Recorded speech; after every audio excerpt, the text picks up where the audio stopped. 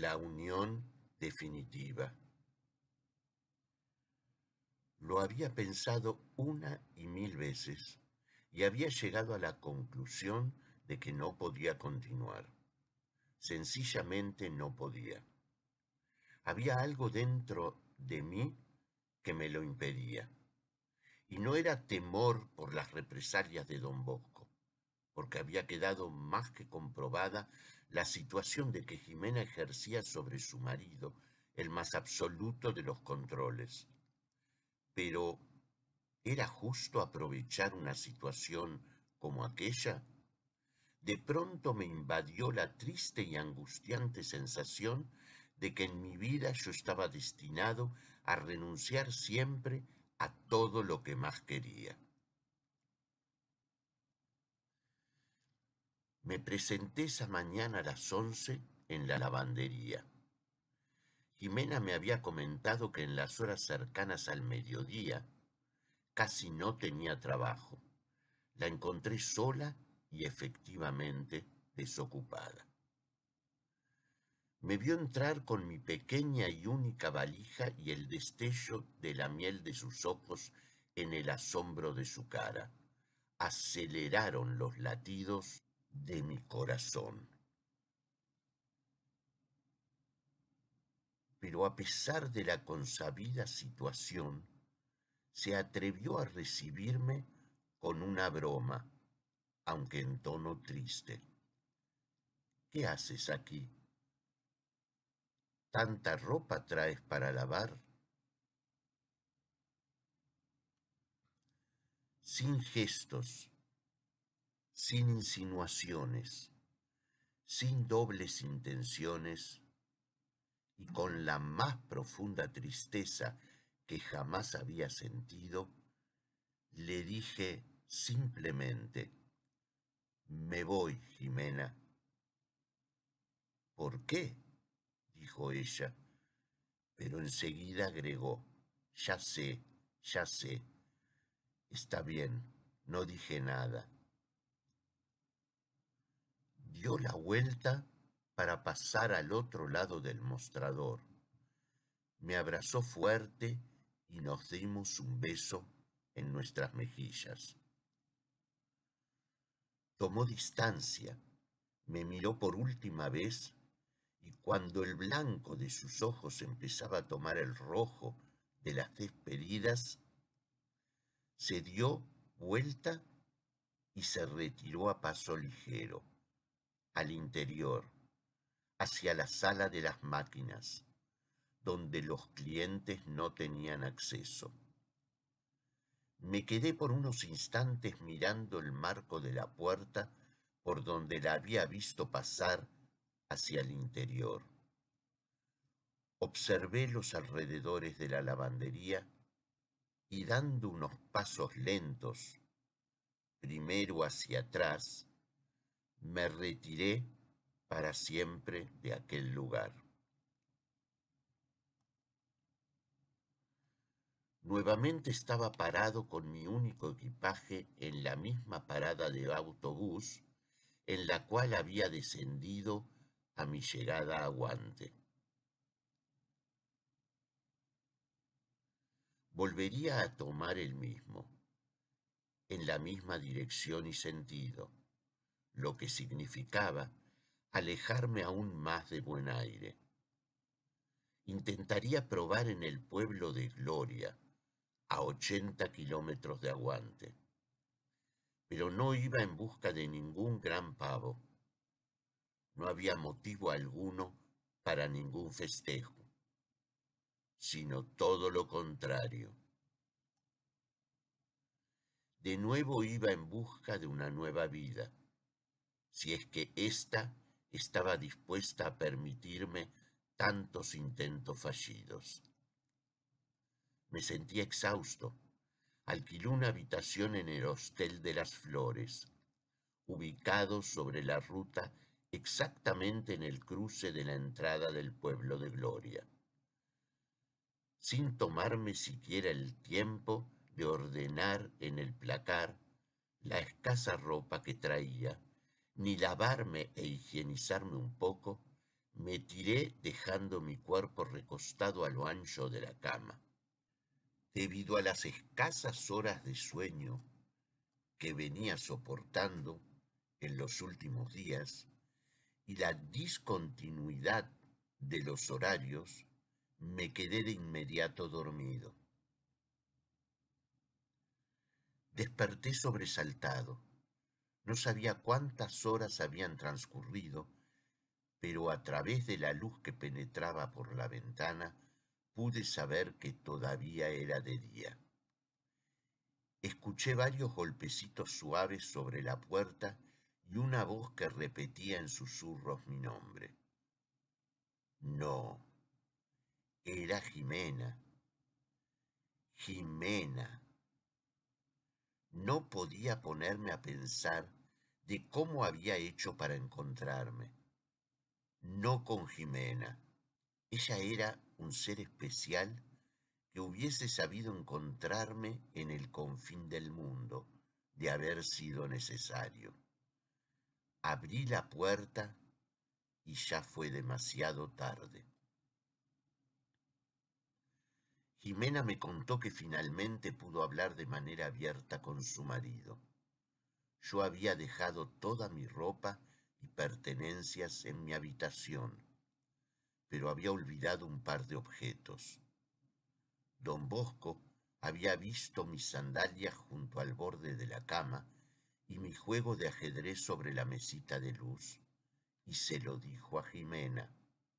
Ella reaccionó con naturalidad y le dio la única explicación posible.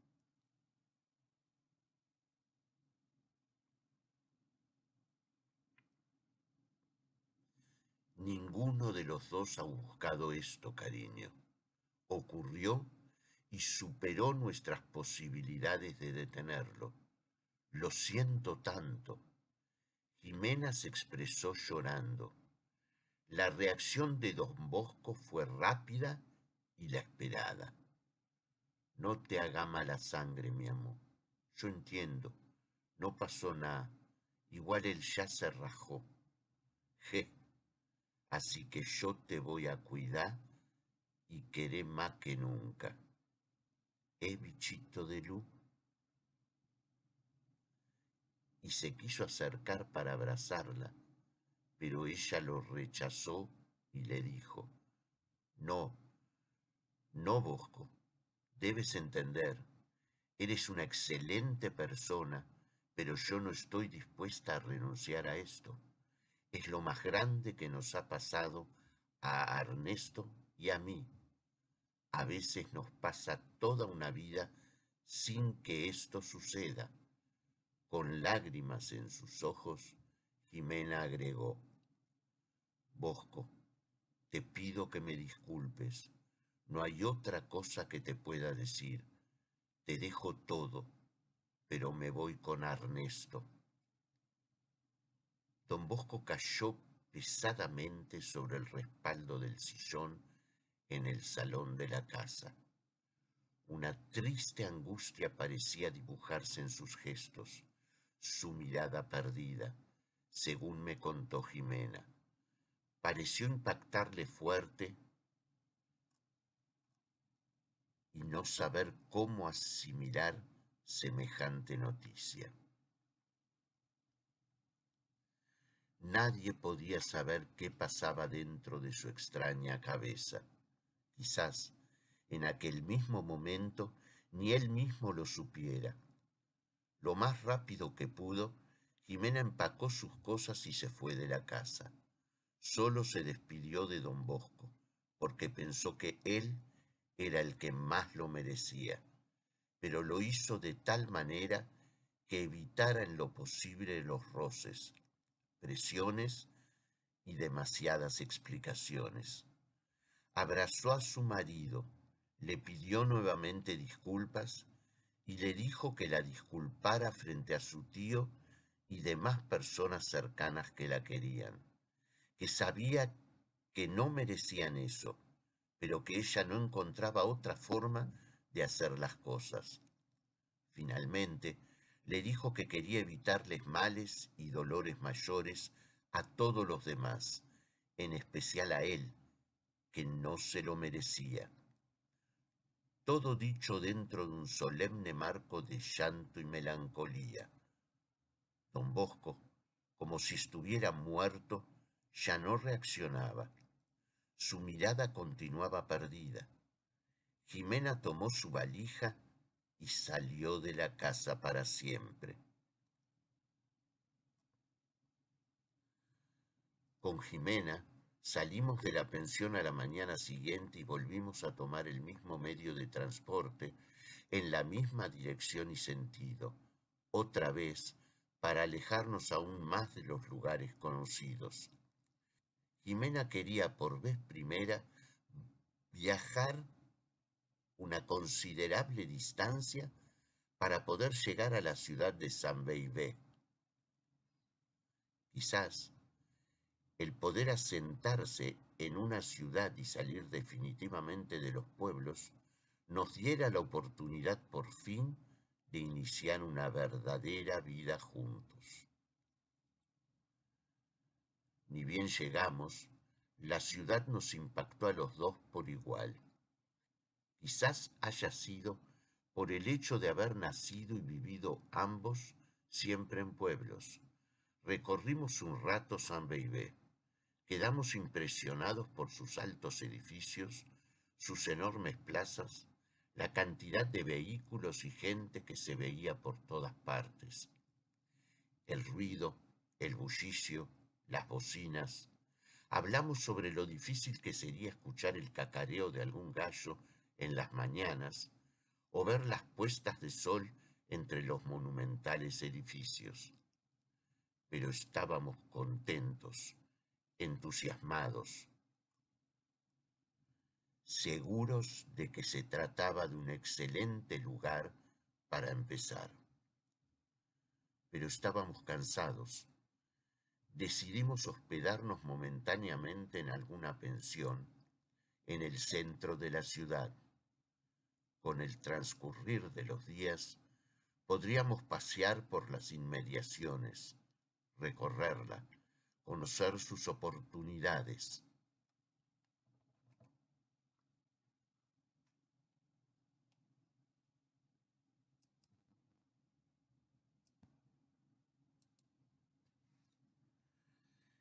Jimena visitaría clínicas y hospitales. Yo haría lo propio visitando editoriales y periódicos. Y cuando tuviésemos resuelta nuestra situación laboral, podríamos afincarnos, rentando alguna casita en las afueras, para no perder del todo la costumbre y la memoria de las cosas buenas que tiene la vida de pueblo. Pero a los pocos días de haber llegado a San Beibé, un agente de policía de la comisaría de la ciudad nos trajo una misiva a la pensión que borró de un plumazo nuestro futuro y todos nuestros proyectos. La carta era de don Bosco y venía dirigida a Jimena.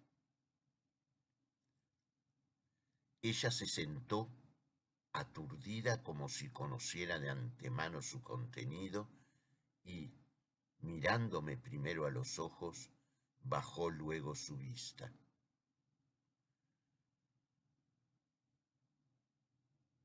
Volvió a mirarme y me explicó que si difícil era a veces entenderle a Bosco cuando hablaba, cuánto más difícil se haría leerlo.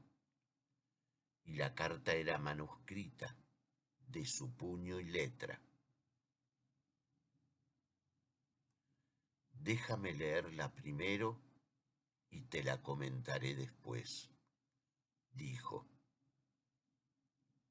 Así fue como Jimena se sumergió en el contenido de esa carta y luego compungida me comentó que por más esfuerzo que hacía, don Bosco no tenía la posibilidad de renunciar definitivamente a ella. Llamándola mi amó y mi bichito Elú, le decía que lo primero que se le ocurrió fue de inmediato perdonarla por todo lo que había sucedido y olvidarse por completo de todo, prometiéndole quererla más que antes.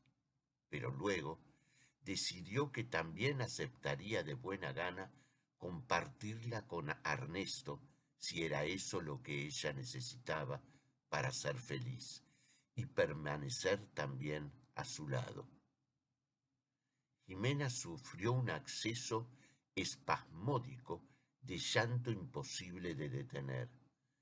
Sentía que se moría por dentro, haciéndole daño a quien quería tanto y no lo merecía.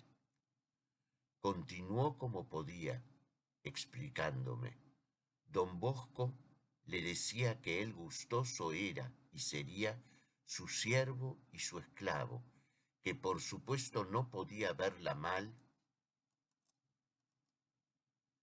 y que acataría cualquier deseo de Jimena por más extremo que fuese, pero lo que no podía por nada del mundo, y solo Dios sabe todo lo que traté, era renunciar a ella. Sería como dejar de respirar, como dejar de vivir, como suicidarse. Por más que no nos gustase con Jimena, lo que en su propio idioma y forma de expresarse don Bosco decía, era coherente consigo mismo, su forma de ser, de vivir, y toda la relación que había mantenido en aquel corto tiempo con Jimena. A mí volvía a martillarme en la mente, de manera recurrente, aquella frase tan elocuente de Jimena. Lo peor que le puede pasar a mi Bosco es que yo me enoje con él. No lo puede soportar. Prefiere arriesgar su vida en cualquier operación comando. Resumía lo principal que dirigía la relación entre ellos.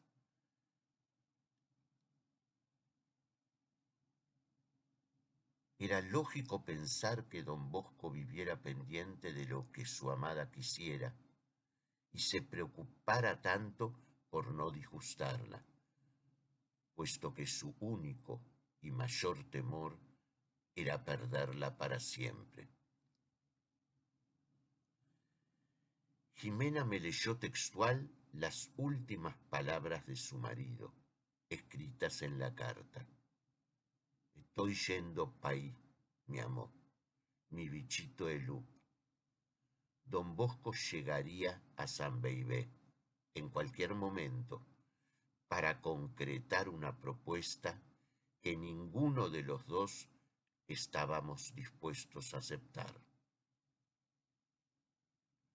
Señor lector, si ha leído hasta aquí esta historia y termina como parece que termina, ello significa que ninguno de los tres, Jimena, don Bosco y yo, estamos ya, o al menos yo no estoy, que soy el que escribe esta historia. Porque si como Jimena y yo queríamos, hubiésemos podido convencer a don Bosco, el final de este relato sería muy distinto. Pero ¿qué vamos a hacer? Hay que entender también la posición de nuestro amigo Bosco. Y él quizás tendría que haber hecho un esfuerzo por comprender también la nuestra. La cuestión es que sea aquí o en el más allá, Jimena y yo hemos decidido estar juntos. Y esta decisión no hay quien pueda modificarla. Por ende, todos sabemos ya que esta historia podría haber terminado de otra manera pero si finalizó así, como dije, supongo que es porque ya ninguno de los tres estamos. ¿Acaso los padres de Jimena no hicieron lo mismo cuando un carozo de durazno se interpuso entre los dos